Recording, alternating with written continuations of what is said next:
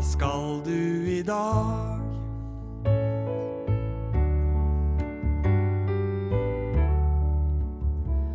I dag skal jeg lese ei bok om kjærleik.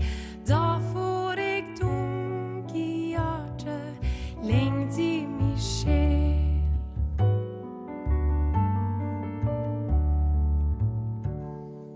Mari, hva skal du i dag?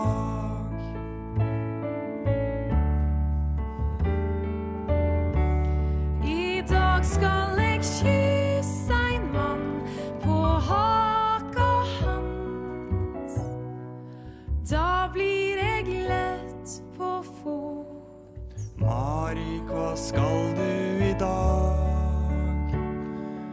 Marik, hva skal du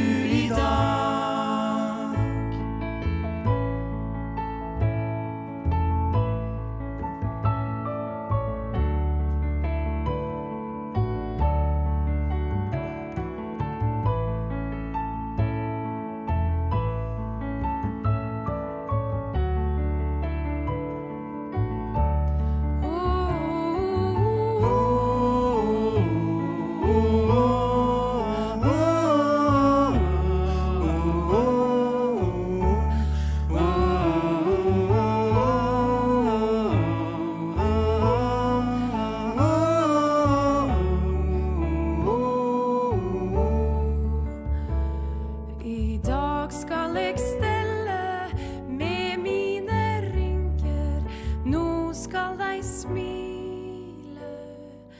Jeg er blitt bestemor.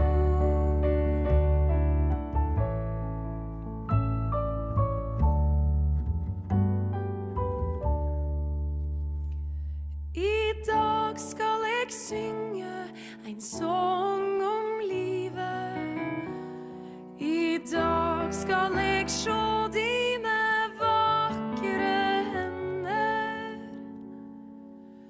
Stryke mitt grå